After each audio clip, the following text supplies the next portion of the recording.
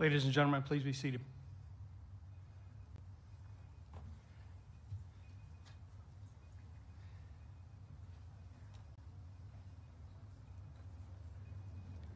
Well, good afternoon, ladies and gentlemen. Uh, I'm Jim Knotts, the president and CEO of the Vietnam Veterans Memorial Fund. And it's my pleasure to be the first person to welcome you here today to our Veterans Day observance at the Wall on the occasion of our 40th anniversary. And to all of our Vietnam veterans, welcome home to this place our nation has set aside for you.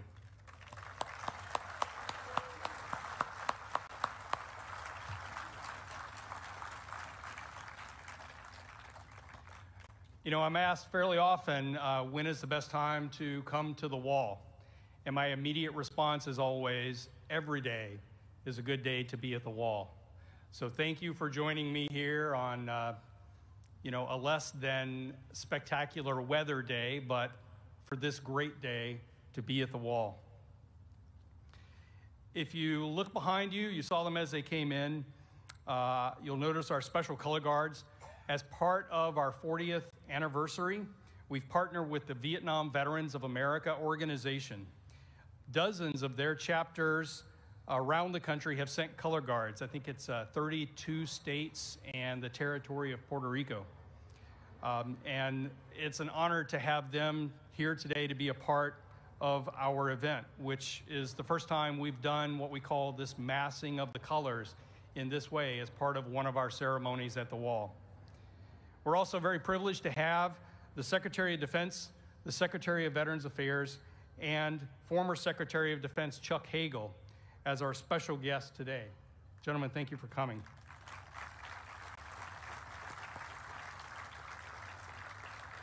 You'll get to hear from them a little bit later. Uh, and we also think this is the first time that we've had the Secretary of Defense and the Secretary of the VA both speak at one of our events here at the Wall. I thank you uh, for coming uh, and braving the elements on this day to help us honor our Vietnam veterans. Before we begin the formal program, I would like to recognize all of the Gold Star family members who are with us today, including Ann Sherman Wolcott. Hi, Ann. She is a Vietnam era Gold Star mother, and her son Rex is remembered on panel 16 West, line 96. A special thanks goes to all of our wall volunteers. There are folks throughout the audience here you see and in the back with uh, yellow jackets or yellow shirts, yellow hats. Those are the Park Service volunteers who are at this wall helping visitors every single day. I'd also like to thank the uh, VVMF staff for all of their work this week as well.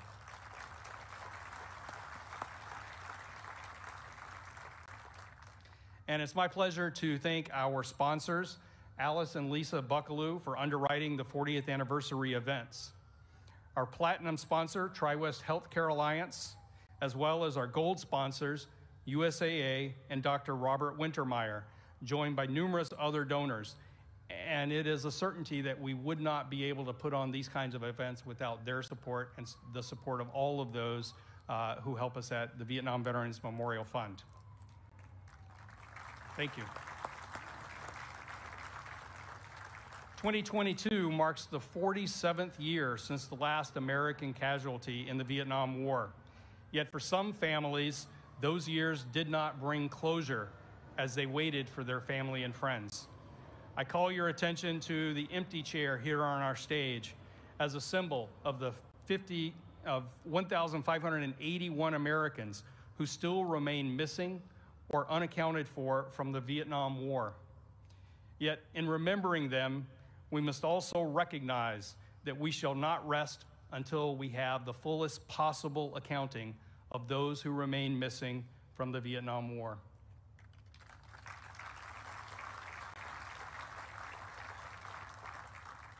And now I'd like to start our program with the invocation. Rabbi, if you'll join me on stage, please welcome Vietnam veteran and Rabbi Arnie Resnicoff. Uh, Rabbi Resnicoff he was here, standing right where we are today, uh, 40 years ago, and he provided the benediction at the dedication ceremony. And uh, I've gotten to know him over the last several years. I'm happy to call him a friend. We're extremely thrilled to have him back 40 years later to lead us in the invocation.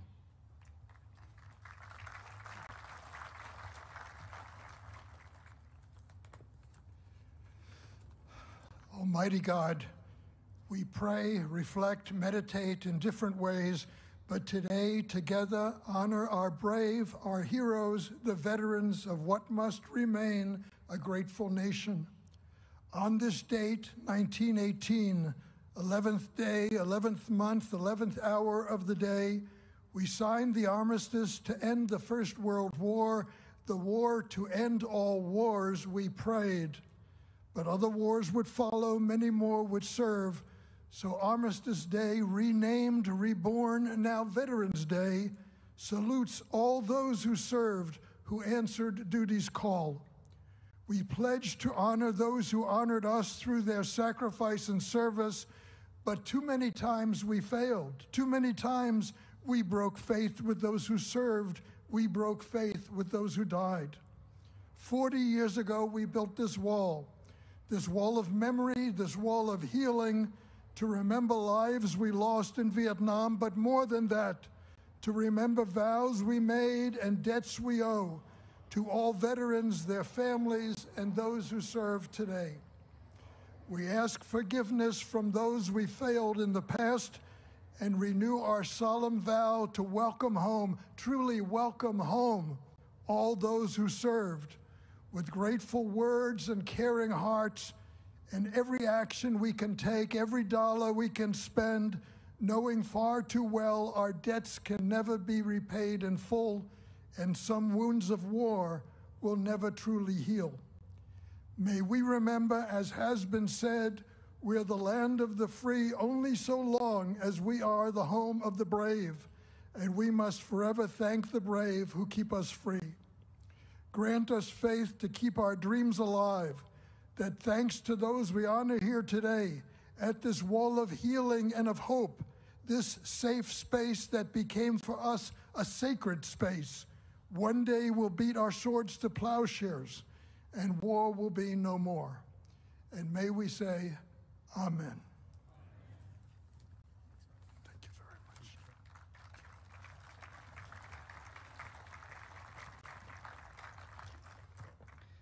Thank you, Rabbi. And now I'd like to introduce the Armed Forces Color Guard from the Military District of Washington for our presentation of colors. Please stand if you are able. Color Guard, present the colors.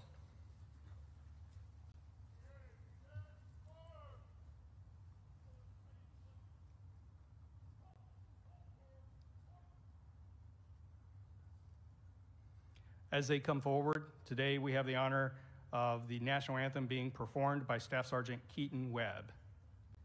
Please remain standing after the, the anthem for the Pledge of Allegiance, led by Vietnam veteran and former VVMF board member Ron Gibbs, and remain standing until the, colors, the color guard retires the colors.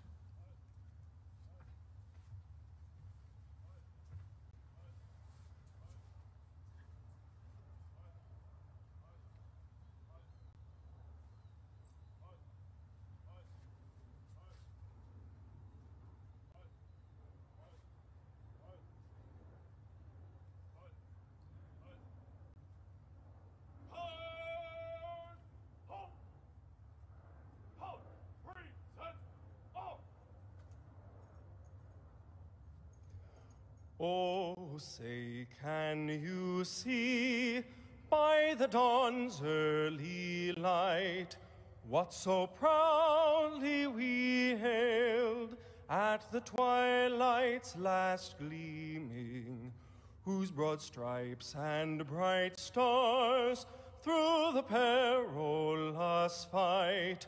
O'er the ramparts we watched were so gallantly streaming, and the rocket's red glare, the bombs bursting in air, gave proof through the night that our flag was still there. Oh, say, does that star-spangled banner yet wave? the land of the free and the home of the brave.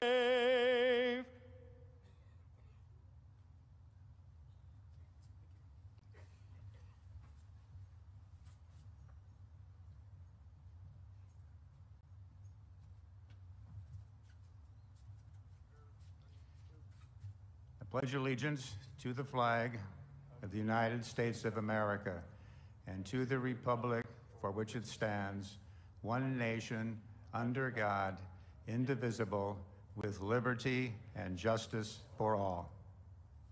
Thank you.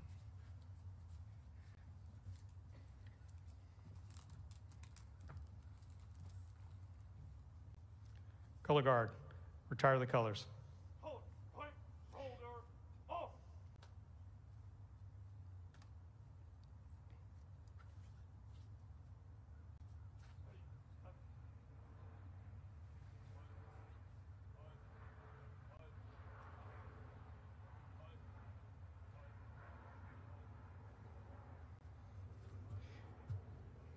VVA color guards, you are dismissed.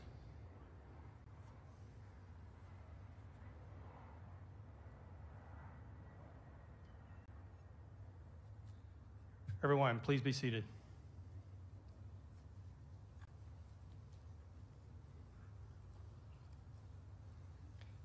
It is my pleasure to introduce today's Master of Ceremonies.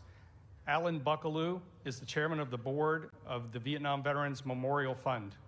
He's a decorated Vietnam veteran, a member of the somewhat famous Fox Force Recon Unit, and he went on to be very successful in business with a career serving as the CEO of Princess Cruises and retiring as the Chief Operations Officer at Carnival Corporation. Please welcome Alan Buckaloo.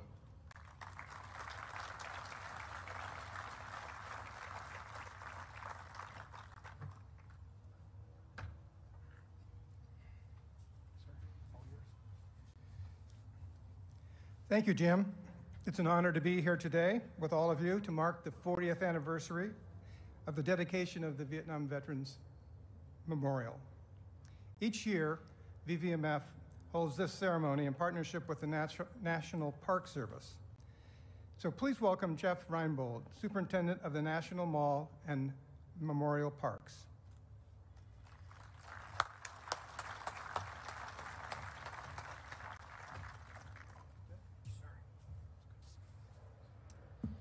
Good afternoon.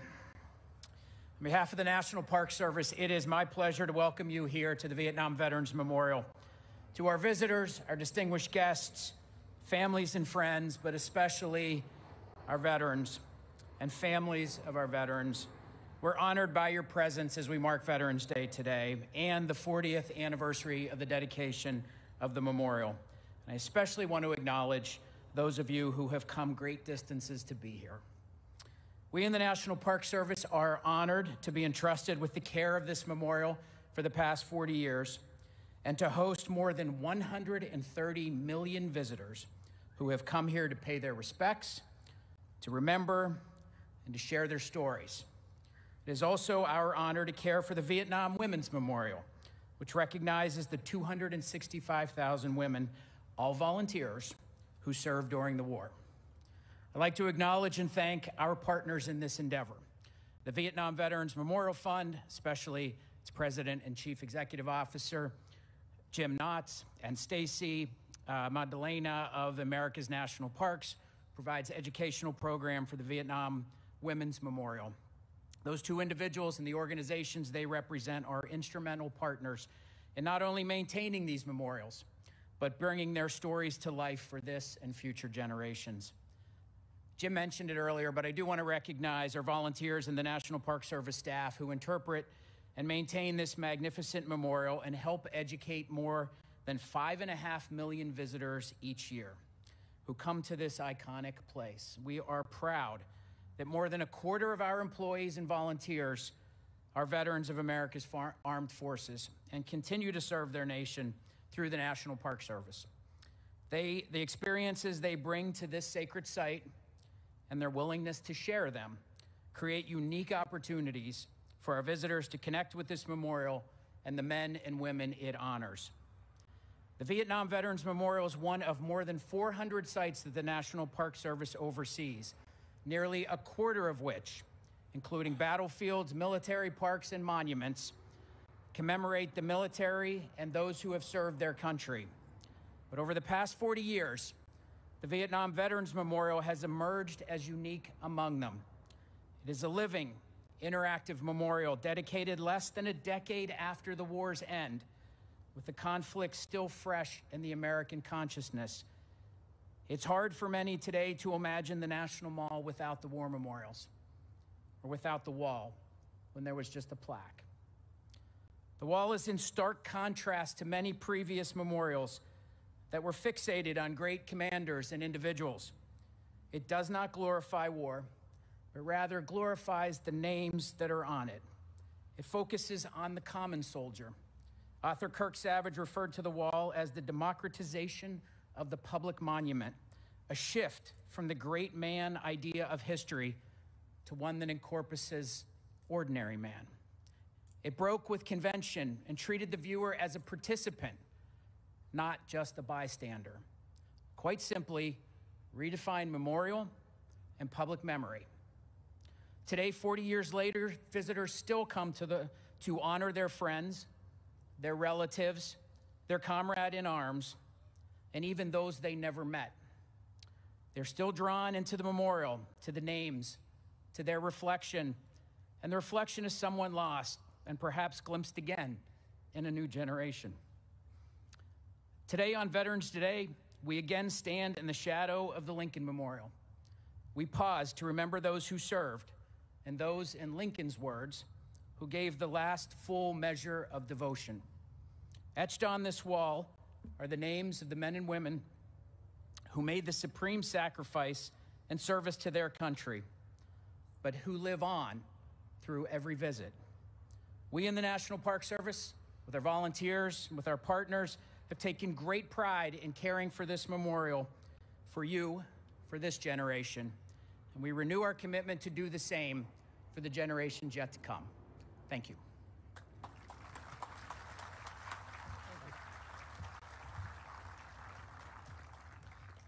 Thank you, Superintendent Reinbold. It's now my pleasure to introduce Connie Evans, who will speak on behalf of the Vietnam Women's Memorial. Connie Evans is a Native American, having been born and raised on a Nez Perce uh, Indian reservation in Idaho.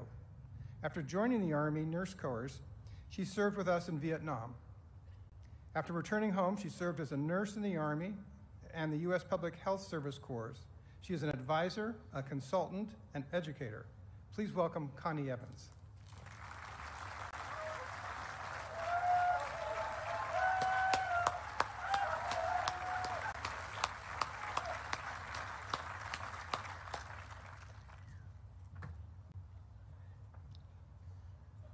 Welcome. Oh my gosh.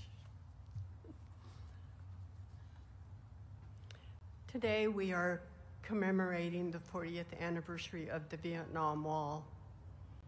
Thank you to Mr. Jan Scruggs for his vision and commitment to honor those young men and women who gave the ultimate sacrifice.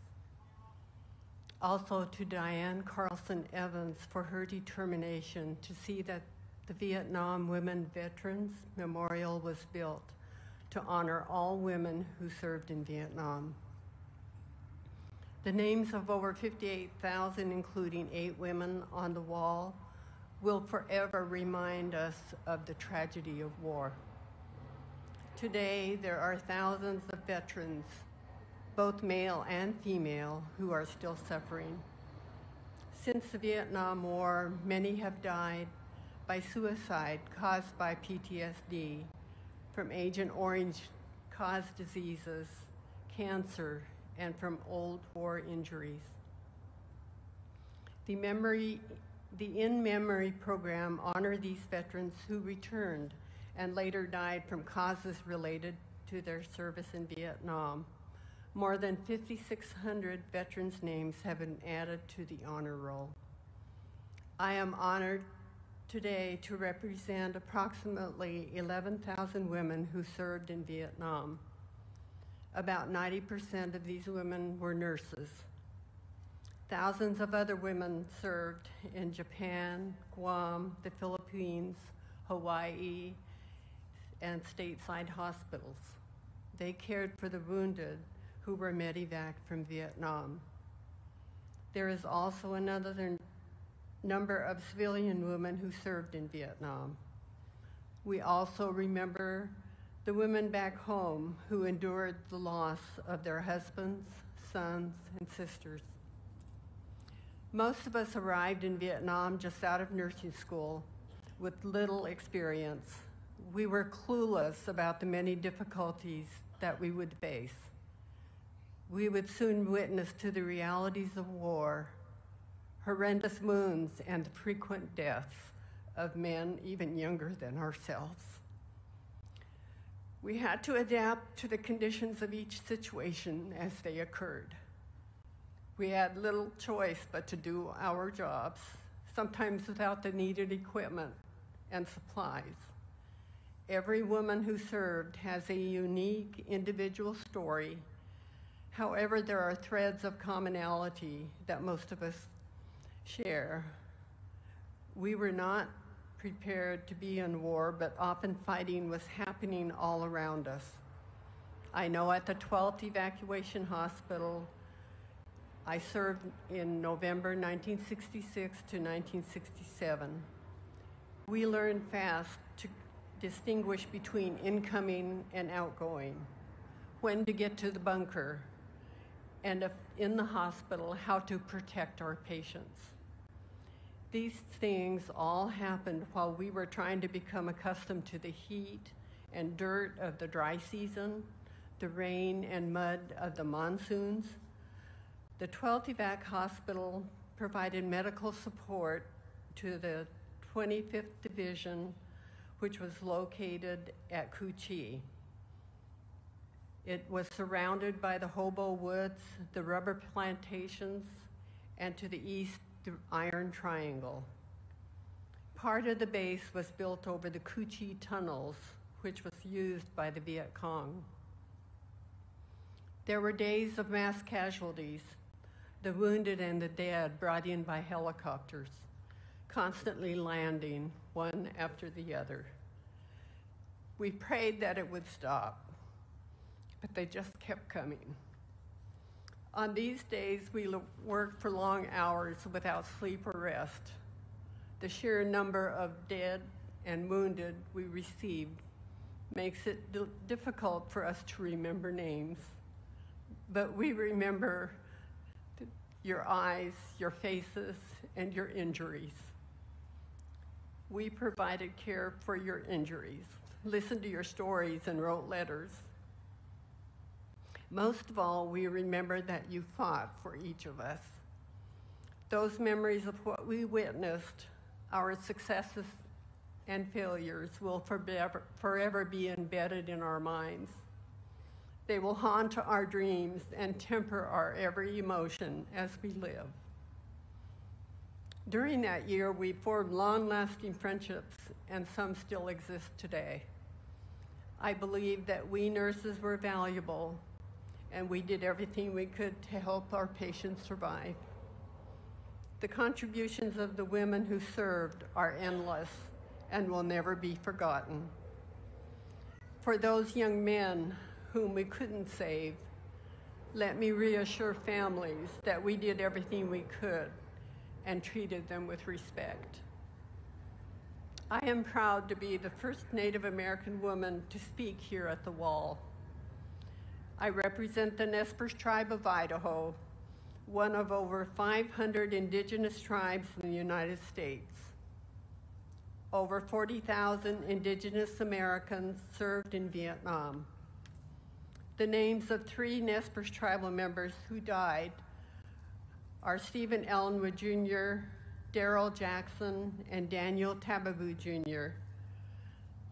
The National Museum of the American Indian is honoring the American Indian, Alaska Native, and Native Hawaiian veterans for their service in all branches of the military in a special ceremony today.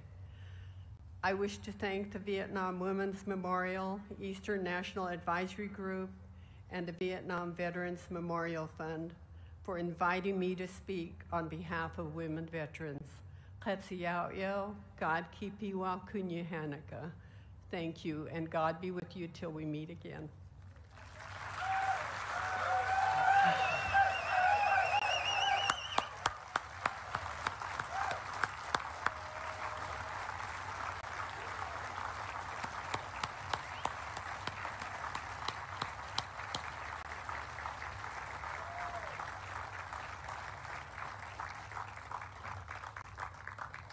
Thank you, Captain Evans. That was special, very special.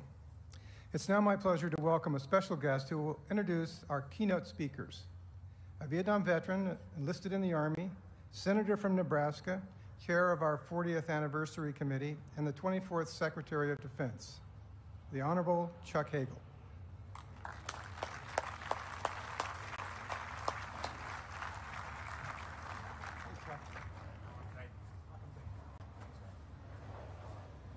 Alan, thank you very much. And to all of you, happy Veterans Day. To our veterans especially, we are grateful for the contributions you've made to our country, the contributions you are still making and will continue to make. Uh, my role here today is to introduce two individuals uh, who not only are we very honored to have, but uh, in their own ways have contributed a tremendous amount to the good of this country and to make a better world. Uh, I will do that in a minute or two, but uh, I've uh, been given a little reprieve to make a couple of comments, and I will do that. I've, uh, I'm still adjusting to bad habits I picked up in the Senate you just continue to speak.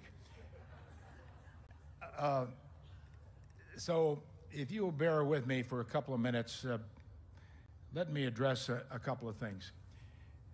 40 years ago, I had the honor of participating in the groundbreaking of this memorial. Uh, another individual who uh, also spoke 40 years ago uh, is here, General Price, wherever he is, uh, I know he's here somewhere, right here. General Price.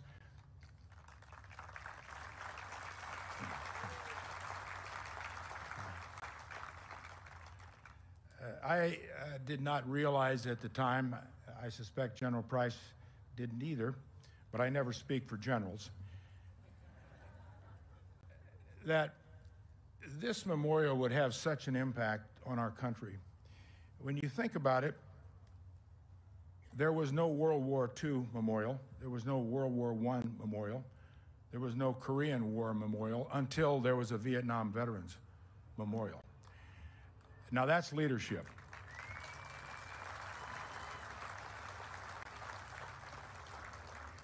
And we're still building Vietnam veteran memorials across this country.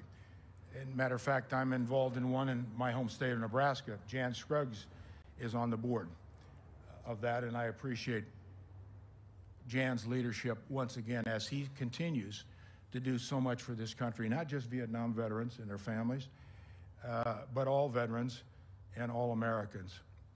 I want to thank uh, also some of the original members of the Vietnam Veteran Memorial Board. Uh, three of them that I saw are here today. Terry Gibbs uh, is one of them, Bob uh, Doubek, is here today, of course, Jan Scruggs. And it's hard to really appreciate totally the impact that Jan Scruggs has had on not just this memorial, but on all veterans and what's right about this country. And there's an awful lot right about this country. This is a time in our country, in the world, that um, is in some trouble. Uh, we are polarized, we are politically divided, but this memorial and our veterans community uh, not just heal themselves and their families, uh, but they serve a, bigger purpose in many ways of addressing the divisions of this country. Uh, this country supports its veterans veterans have a way of teaching, have a way of serving, have a way of contributing, all selflessly. And I think those are things that often get lost in our world today, that we are more focused on our divisions or what we disagree on. But there's an awful lot we agree on. And, and I think that's as big a part of what this memorial today represents as, as any one part of what it represents, and it represents a lot of parts. Uh, I hear, I know my colleagues, Secretary Austin, Secretary McDonough, and many of you hear from their counterparts all over the world about our veterans, about how we care for our veterans, how we support our veterans, and, and what our veterans mean to each community in this country.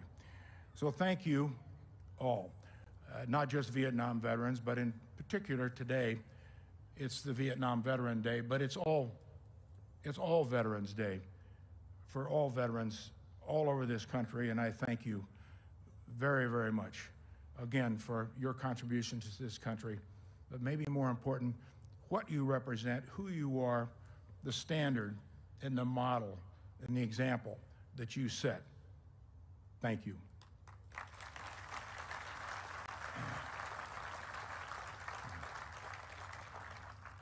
Now, allow me to take on my first task of the day, and that uh, is introducing our two distinguished speakers. Uh, I have known Dennis McDonough, our Secretary of Veterans Affairs, for many years. I worked with him for many years. Uh, he has been a leader in every way uh, in government in this country. Um, a boy who was born and raised in Minnesota with a small family of 11. Uh, that's why he's still so thin. But when you look at what Dennis McDonough has done for this country in the House of Representatives, in the Senate, uh, staff director, professional director, there's not an issue that he has not touched in some way. For eight years, he was an indispensable part of the Obama administration. Uh, the last four years of that administration, he was chief of staff to the President of the United States. Graduate of a small college in Minnesota, St. John's. Then he got his master's degree at Georgetown. Uh, he's continued not only to accelerate and improve himself, but he's, he's brought people along.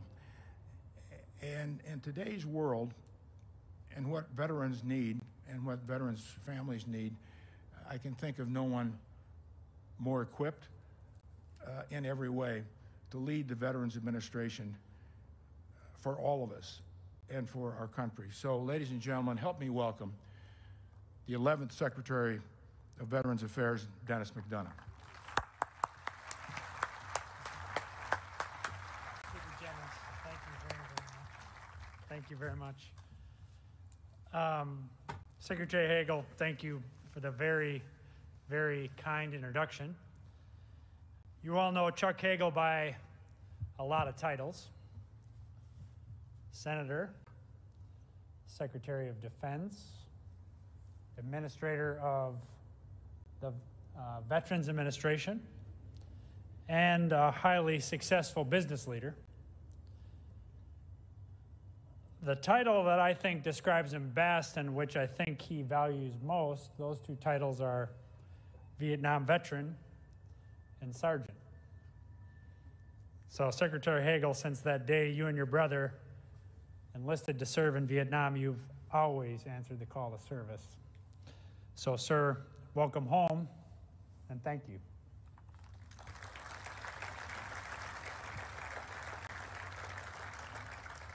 Secretary Austin, they had me speak first because nobody wants to speak after Lloyd.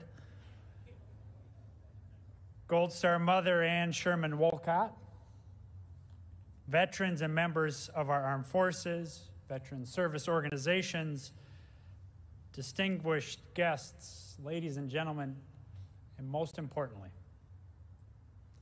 Vietnam veterans and your families.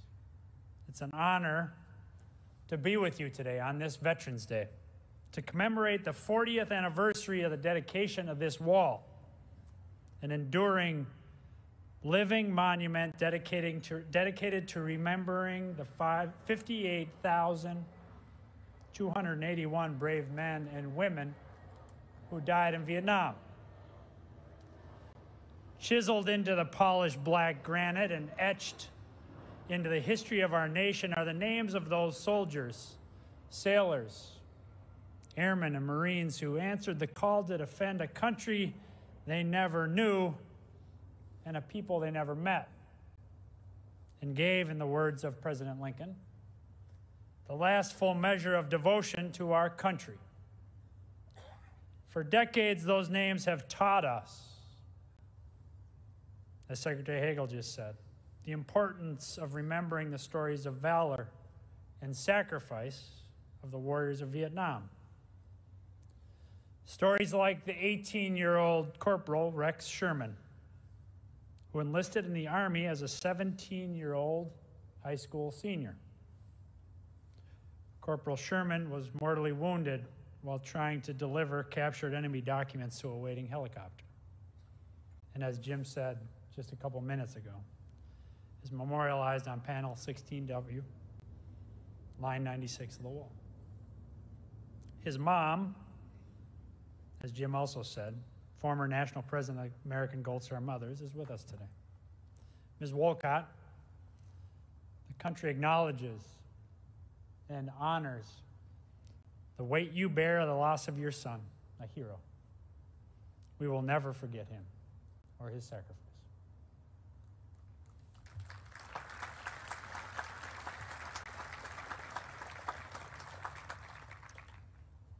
It is an extraordinary act to put on the nation's uniform. Leave the safety of your home, deploy to a war zone in a foreign land, and fight for the freedom of someone else. Our Vietnam veterans performed that extraordinary act, again, as Secretary Hagel just said, during a time of great polarization and challenge here at home. So much so that too few of you were afforded an appropriate homecoming. My predecessor at VA, General Shinseki, who knew the price of war after serving two combat tours in Vietnam and sustaining critical injuries for which he earned two Purple Hearts, once said, All who fought in Vietnam came home changed, older than our years, tougher, more serious, no less vital, but somehow less lighthearted, he said. Ten years ago today, at another ceremony on these hallowed grounds, he described this memorial appropriately, I believe, as a time capsule of the heart. A time capsule of the heart.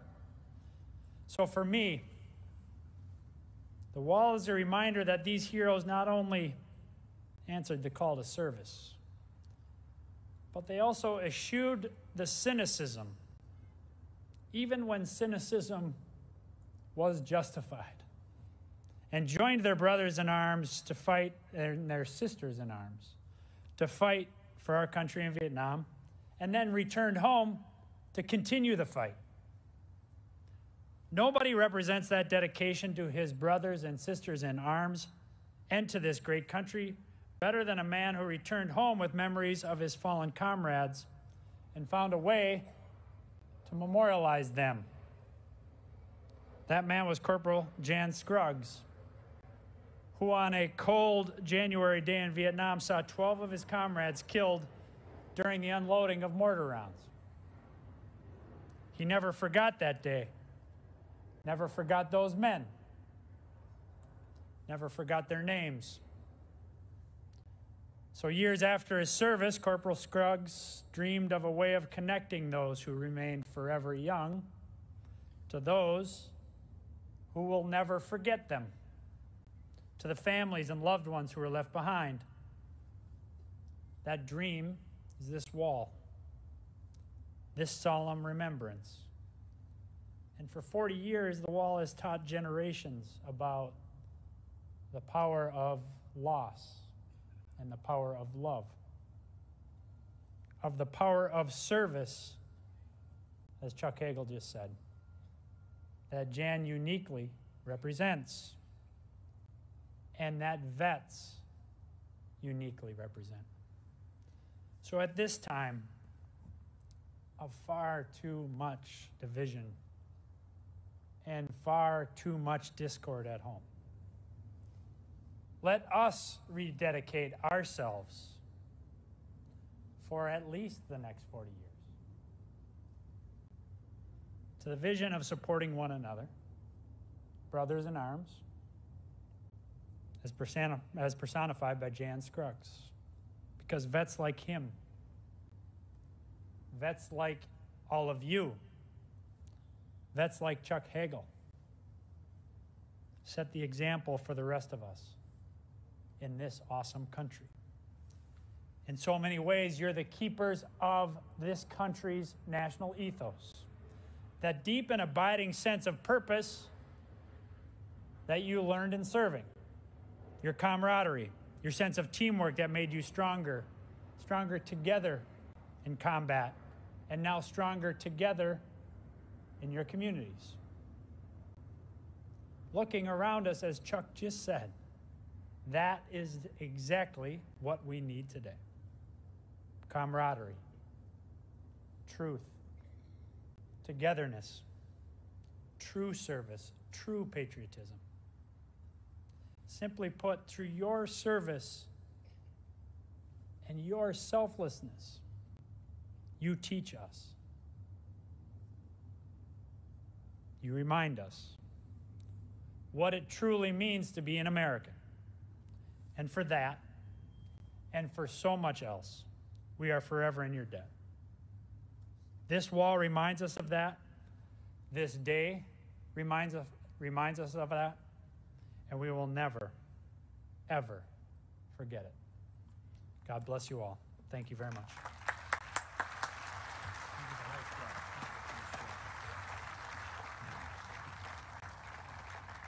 Dennis, thank you. Now, before I introduce the Secretary of Defense, um, let me also acknowledge uh, once again the Director of the Nebraska National Park Service. Thank you, sir, for what you do and all of your people uh, every day to make this a better place. Thank you.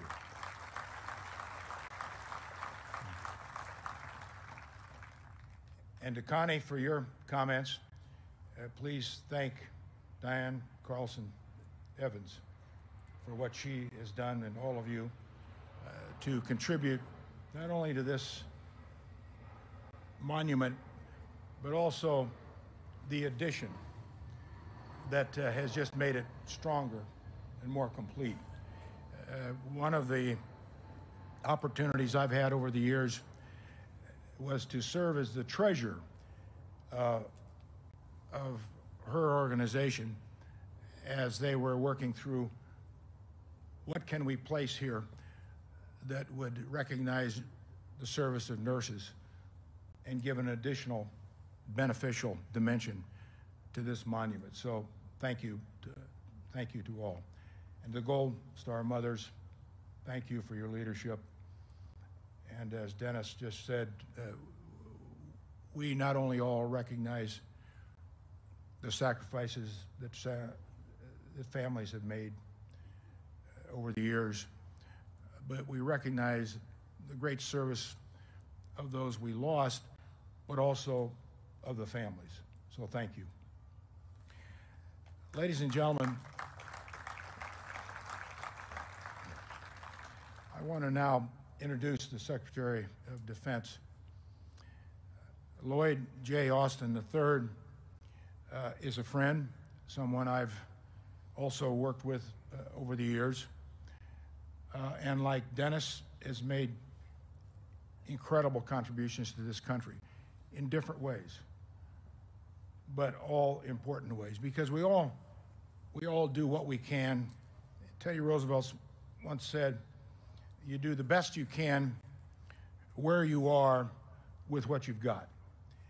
And I've always thought that's a applicable turn of a phrase uh, that explains us all and our each individual lives about contributions to, to this country.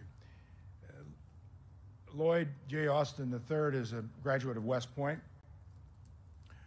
He picked up a couple of master's degrees uh, along his way to becoming a, a four star general, served as Army Vice Chief of Staff. Uh, and one of the duties that I performed early on as Secretary of Defense was to swear him in as the new commanding officer, the commander of Central Command, which is about as difficult a position in our armed forces as there has been the last 20 years, because that commander had responsibility for the wars in Iraq and Afghanistan, as well as uh, all of the Middle East. He performed every job that he's ever been called upon to take with incredible decency, honesty, and professionalism. And each office, each command that he had, he left those commands stronger than when he took them over. So it's a great privilege to me to introduce uh, to you someone you all know a lot about, the 28th Secretary of Defense, Secretary General Lloyd J. Austin III. Thank you.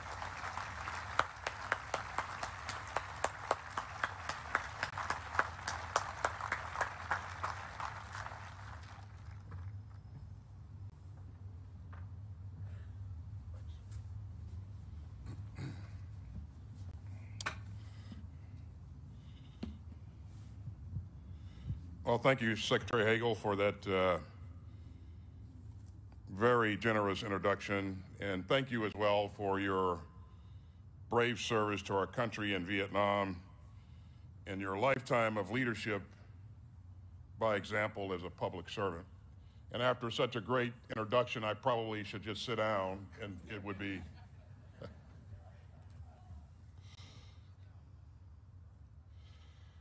Let me also thank uh, Secretary McDonough for your extraordinary efforts on behalf of Americans veterans, America's veterans. And ladies and gentlemen, we are really, really fortunate to have Secretary McDonough in the position that he is in. He continues to do extraordinary things on behalf of our veterans and our family members.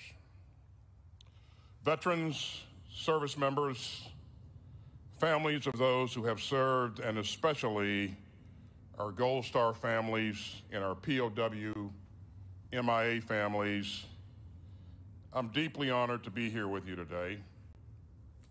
And on behalf of the Department of Defense, let me simply say thank you for all that you have given for the cause of freedom.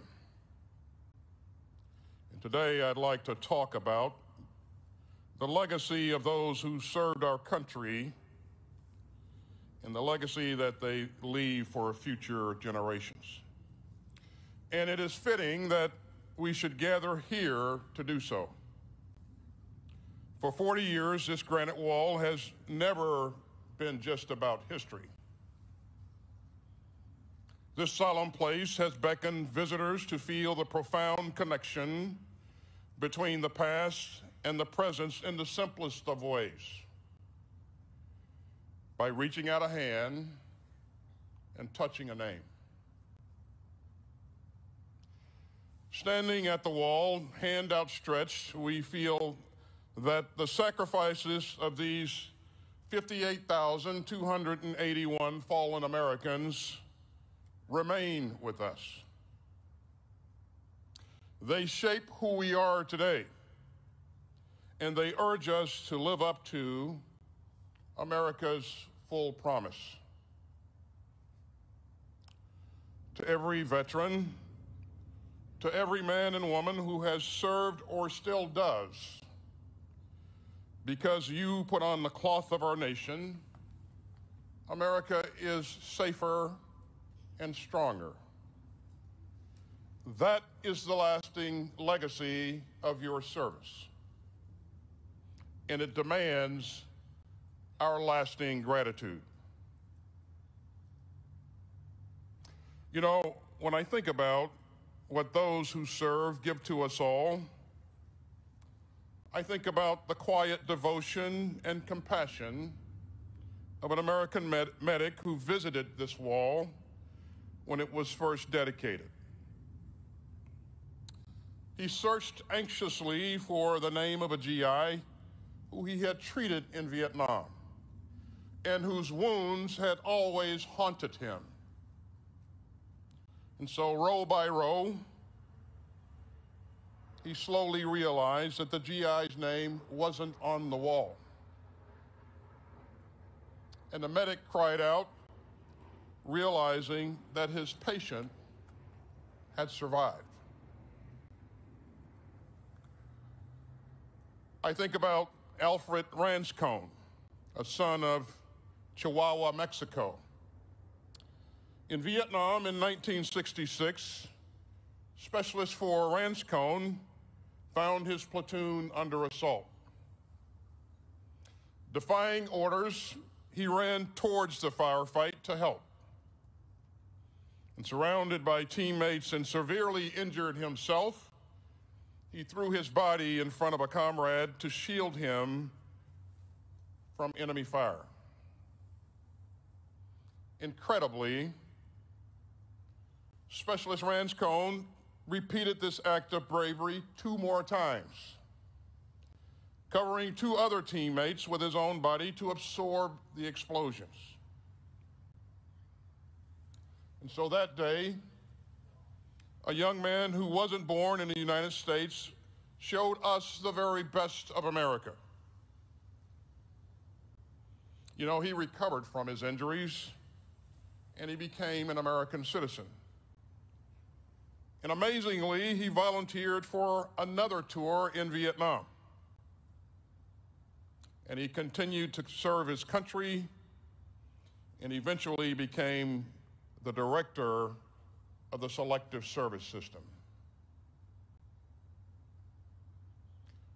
Somehow the request for Specialist Rascon's Medal of Honor got lost. But the soldiers in his platoon never forgot his courage. And so they kept pushing. And more than three decades later, Specialist Rascon finally received his Medal of Honor. And when he accepted it, he said, The honor is not really mine. And so he asked the platoon mates who were there with him that day to stand up and to be recognized.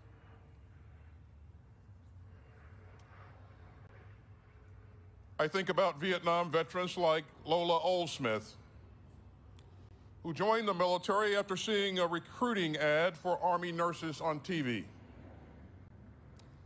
She was soon sent to a hospital in Vietnam, working 12 hour shifts in recovery and surgical intensive care. And she and her fellow nurses cared for both American GIs and Vietnamese prisoners. prisoners and they would travel into villages and treat anyone who needed it. And one night during the Tet Offensive, when an explosion tore through their building, the young nurse lifted up a pregnant Vietnamese woman by herself and sheltered her under a, under a bed for protection. So Lola Oldsmith had found her calling. After she came home, she stayed on as an Army nurse, treating patients all over the country and rising through the ranks as a nurse recruiter.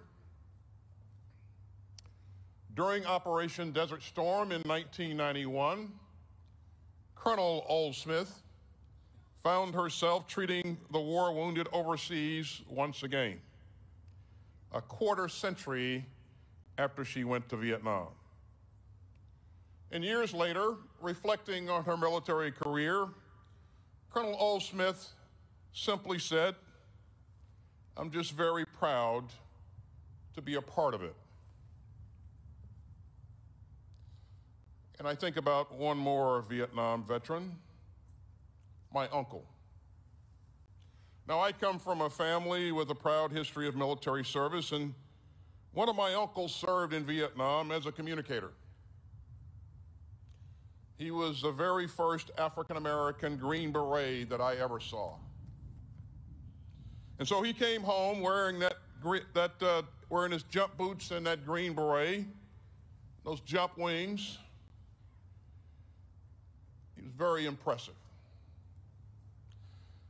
My uncle was deeply and quietly proud of what he had contributed. And his pride helped to inspire me to serve as well. My uncle showed me how meaningful service could be. And he showed me the way that one act of service can lead to many, many more. So let us never underestimate what service can mean. Never forget the ripples set in motion by the Americans who fought in Vietnam, including veterans who may never have fully realized what a difference they made to those around them. Because service lifts up others. It enriches your own life and it makes you part of a proud American story. Part of the solemn duty that has moved so many patriots across the generations to leave this country better than you found it. Now, for four decades, this memorial has brought Americans together no matter what they thought about the war in Vietnam. And in that time, another generation of veterans has come home. And I'd like to recognize all of those who served in Iraq and Afghanistan.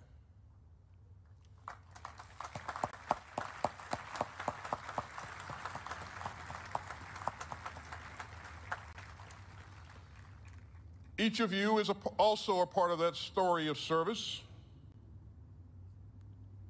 And in 2008, one of my fellow Iraq vets came to this sacred place and he left a pair of his combat boots at, at this wall, size 12. And along with the boots, he left a note on Marine Corps stationery.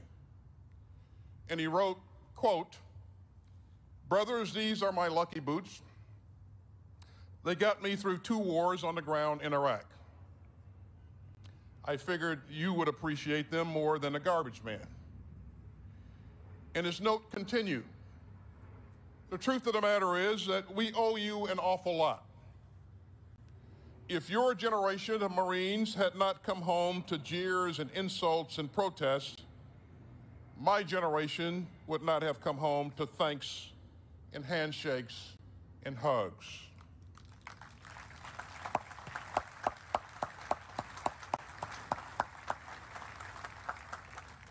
And he ended by saying, Rest easy, gents and he signed it as Frank, First Lieutenant, United States Marine Corps. And as Frank said, American troops should always come home to thanks and handshakes and hugs.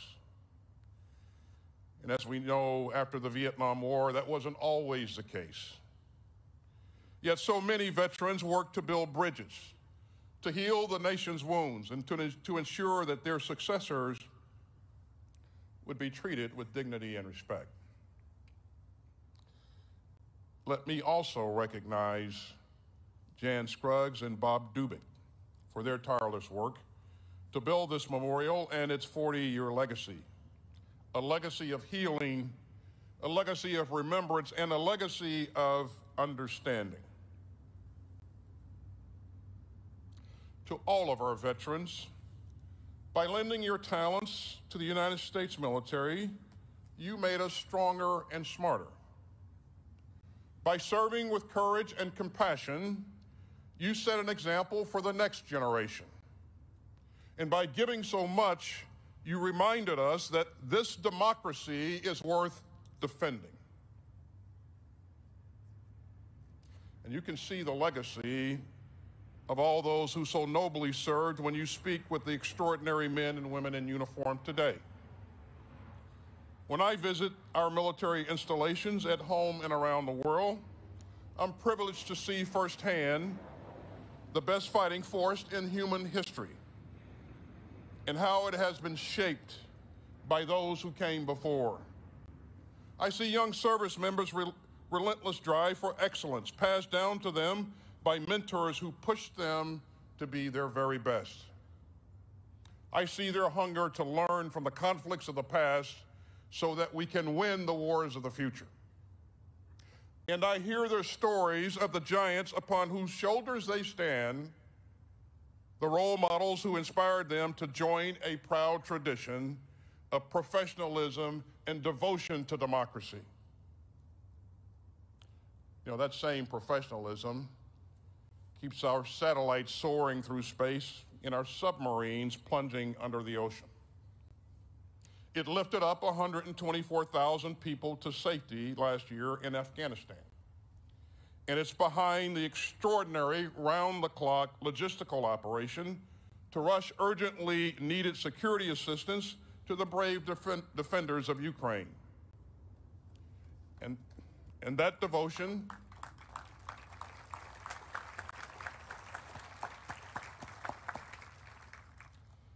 that devotion gives life to the ironclad commitments that we make to our allies and to our promises to the American people that we will always protect this country and we will always defend this democracy.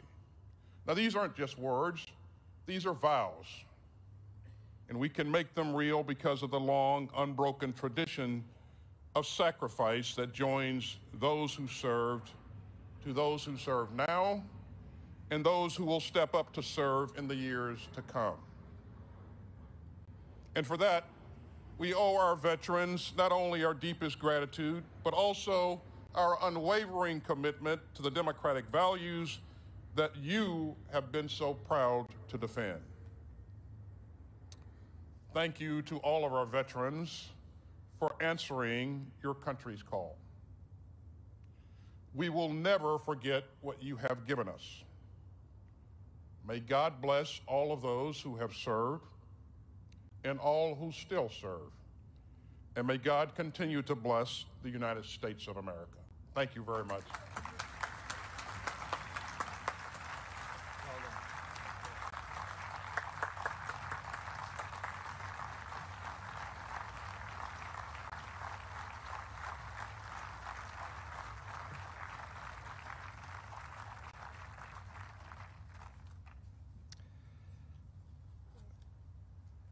Thank you, uh, Secretary McDonald, uh, Secretary Austin, and as always, Secretary Hagel.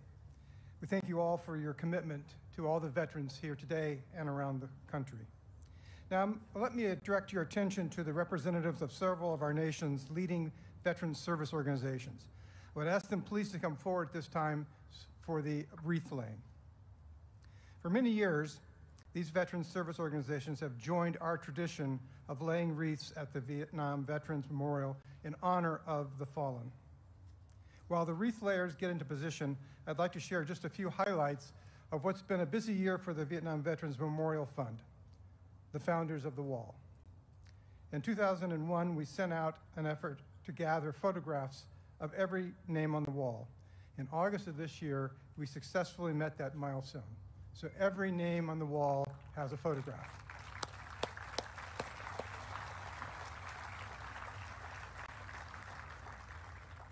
The photos were mostly were collected by a small army of volunteers from around the country working day and night.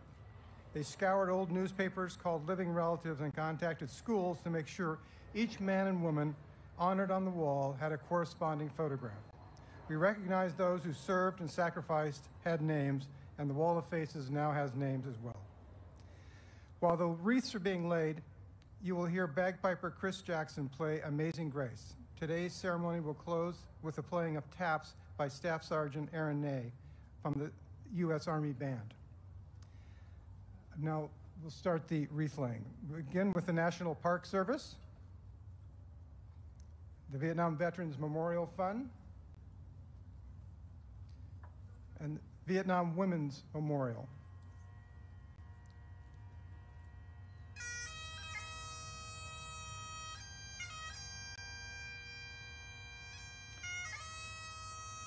The National Park Service,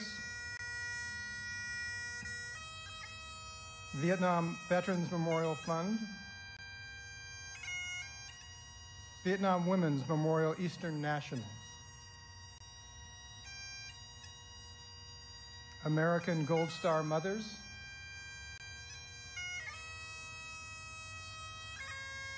Gold Star Wives of America.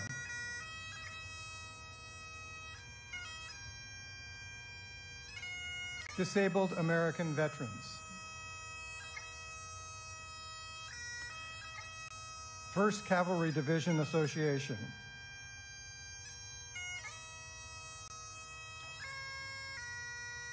Veterans of America.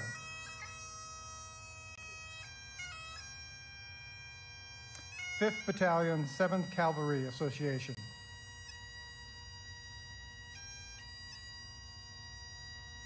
The Military Order of Purple Heart.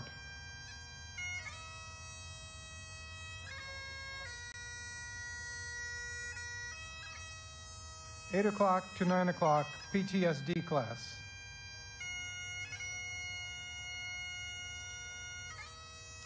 Vietnam Veterans of America and Associates. Vietnam Veterans of America, Chapter 1008.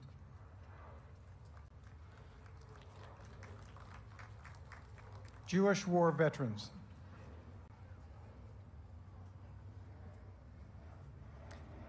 Sanh Veterans.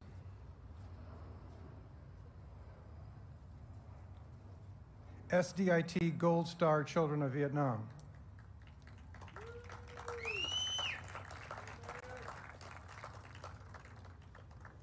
National Dusters, Quads, and Searchlights Association.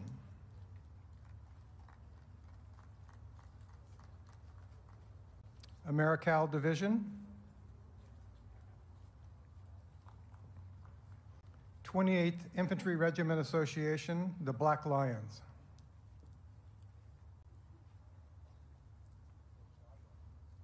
The U.S. Army OCS Alumni Association.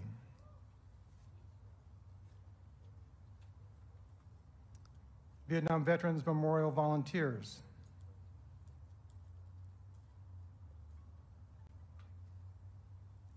The American Legion Families.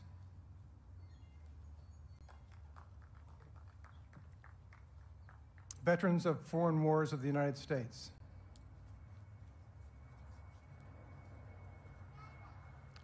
AMVETS.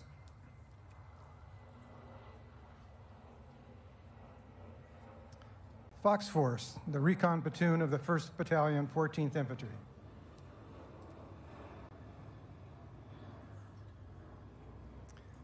Verizon Corporation Veterans Advisory Board.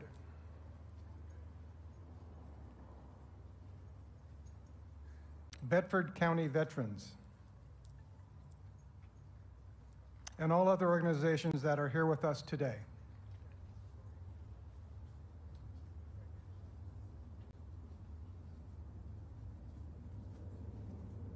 We ask that you stand, if you are able, for the playing of taps. Please remain standing and our special guests and the National Park Service Honor Guard depart.